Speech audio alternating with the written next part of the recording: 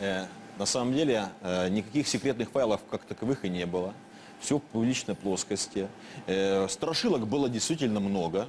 И до сих пор продолжают пугать этих людей.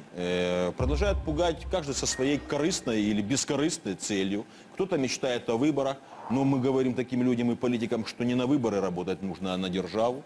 Э, Давайте обо всем по порядку. Первая, самая главная страшилка, которую я хочу вот сразу всем перед всей страной опровергнуть, что никакого повышения пенсионного возраста не будет.